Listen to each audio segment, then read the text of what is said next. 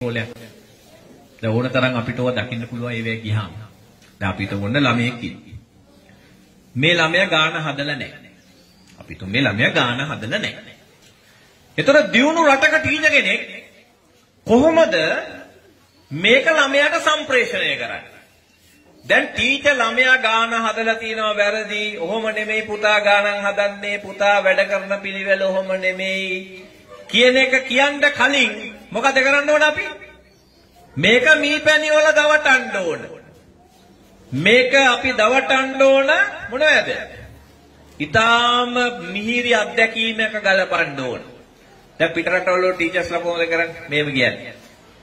පුතා අද පුතා ලස්සනට ඇඳලා අද පුතා ෂෝක් එකට අද මේ ගණන් හදන්න පටන් අරන් දැන් පුතා හැමදාම ඉස්කෝලේ එනවා පුතාගේ සපත් දෙක හරි ලස්සනයි පුතා වෙන්දට වැඩිය හොඳට වැඩ කරනවා දැන් මේ ගුරුවරුන්ව පුහුණු කරලා තියෙනවා ලොකු වෙලාවක් හොඳ සද්දෙට ළමයාගේ හොඳ කියනවා ළමයා උද්දීපනය කරනවා. ළමයා ප්‍රබෝධමත් කරනවා. එහෙම කළා ටීචර් මොකද කරන්නේ? ටීචර් එනවා පොතට. ඇවිල්ලා කියනවා පුතා පුතාගේ පොත පෙන්නන්න. ආ.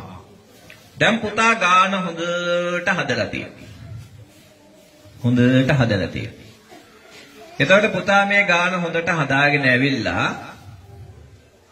පුතා මෙන්න මේ හරිය වරද්දලා තියෙනවා. ඒ කරපු වැරද්ද මෙන්න මෙහාට ඇවිල්ලා තියෙනවා. පුතාට වැඩ කරන්න පුළුවන් හොඳ ළමෙක්. හොඳට හිතන්න ටීචර් දැන් ආයෙ එනවා පුතා වැරද්ද හෙව්වද කියලා බලන්න කියලා. දැන් මොකද වෙන්නේ? ළමයා ප්‍රබෝධමත් වෙනවා, උද්දීපනය වෙනවා, සතුටටපත් වෙනවා.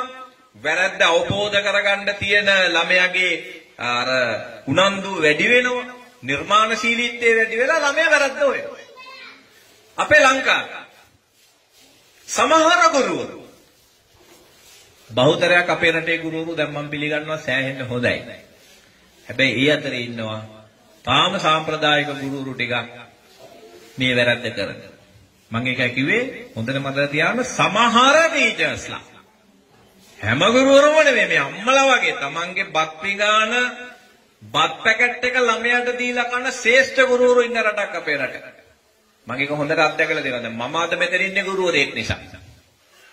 හරිද? ඒ නිසා අපේ රටේ ඉන්න සමහර ගුරුවරු හිතාම නරක වැඩ කරනවා. කොහොමද එන්නේ? ඔන්න එනවා. එළ මොකද කරන්නේ? පුතා පෙන්නන්න පොත. ඔය කොරේ කොහොමද මම ඉගන්නේ? කොහොමද ඉගන්නේ?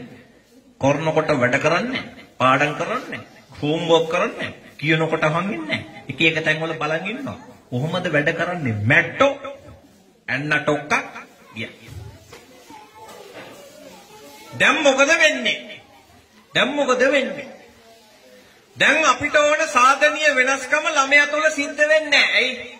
ළමයා තරහ ගන්නවා, දුකටපත් වෙනවා, කලකිරීමටපත් වෙනවා, ගණන් එපා වෙනවා, ඊළඟට ළමයා සමාජයට වෛර කරනවා නිර්මාණශීලීත්වය නැති වෙලා යනවා ස්වයං අවබෝධය නැති වෙනවා එකම වාසිය තියෙනවා ටීචර්ට තමන්ගේ ගෙදර තියෙන ප්‍රශ්නයක් හරි පිට කරගන්න අවස්ථාවක් හම්බුණා ළමයාට දෙකක් නෙලලා ටීචර්ට පොඩි වාසියක් තියෙනවා තමන්ගේ ආවේග පිට කරගන්න. එච්චර තමයි මේකේ තියෙන වාසිය. ඒ හින්දා අපි ඉල්ලමු අනාගතයේ මේ සමාජයේ මිනිසුන්ගෙන් ඔබට සාර්ථක දරුවෝ හදන්න අවශ්‍ය නම් මෙන්න මේ වාචික අපයෝජනය නතර කරන්න. එහෙනම් වාචික අපයෝජනය කොහොමද අපි තේරුම් ගන්නේ? ඔබ දරුවාට කතා කරලා ඉවර වෙනකොට ඔහුගේ අභිමානයට හානි වෙලා නම් ඔහුගේ ගෞරවයට හානි වෙලා නම් ඔහු තුල අමීරි හැඟීමක් ඇති වෙලා නම් ඔහු තුල බයක් ඇති වෙලා නම් ඔහු තුල කෝපයක් ඇති වෙලා නම් ඔහු තුල දුකක් ඇති වෙලා නම් අන්න ඒක අපි කියන්නේ වාචික අපයෝජනයක් කියලා. හැබැයි ඔබ කතා කරලා ඉවර වෙනකොට ළමයෙක් සතුටටපත් වෙලා ප්‍රබෝධයටපත් වෙලා විනෝදයටපත් වෙලා උනන්දුව ඇති වෙලා නම් අන්න ඒක මිහිරි ලෙස කතා කරලා තියෙනවා අපයෝජනයක් නැහැ. අපයෝජනයක් නැහැ. අපි උදාහරණ කීපයකින් කියලා මම මේකෙන් එළියට එන්නම්. අපි දැන් ඔබට කියන්න ඕන ළමයාට කාලා පිඟාන හොදන්න. කොහොමද අපි කියන්නේ? කොහොමද අපි මේ කියන්නේ? කෑවනම් පිඟාන හොදපම් මේ ගෙදර වැඩකාරයෝ නැහැ. දැන් මොකද උනේ? ඊටාම අමේරි අත්දැකීමක්. ඊටාම අප්‍රසන්න අත්දැකීමක්. තරහ ඇති වුණා. ළමයාට එපා වුණා පිඟන් හොදගන්න. පිඟානක් පොලේ ගැහුවා. ළමයා ගියා. අපි මේව කියනවා. අපි ඒක මිහිරි හැඟීමක් ඇති වෙන්න කියනවා කොහොමද? මගේ පුතා වෙන්ද අම්මට හැමදාම පිඟන් හොදලා දෙනවනේ. මගේ මැනික අම්මට උදව් කරනවනේ. මගේ පුතා කොච්චර උදව් කරනවද අම්මට? මගේ මැනික අද අමතක වෙලා වගේ පිඟාන හොදන්න මගේ පුතා කියන්නේ. මොකද වෙන්නේ? ඔබට තේරෙයි ළමයා සතුටටපත් වෙලා ප්‍රබෝධයටපත් වෙලා තමන්ගේ වැරද්ද අවබෝධ කරගෙන පිඟන් හේදුවේ නෑ කියලා තේරුම් අරගෙන උද්දීපනය වෙලා මුළු ගෙදරම පිඟන් ටික හොදලා දෙනවා මෙන්න ළමයින්ගේ ස්වභාවය.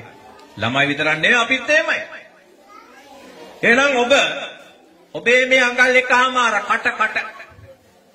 මේ අඟල් එකමාර අද ඉඳලා පාවිච්චි කරන්නකො කොහමද? තව කෙනෙක් තුළ මිහිරි හැඟීමක් ඇති වෙන්නේ. තව කෙනෙක් තුල අභිමානවත් හැඟීමක් ඇති වෙන්න.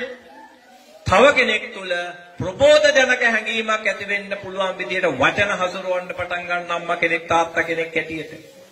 ඔබට තේරෙයි ඔබේ දරුවා තුල ඊටාම සාර්ථක පෞරුෂ ගති ලක්ෂණ ගොඩ නැගෙනවා.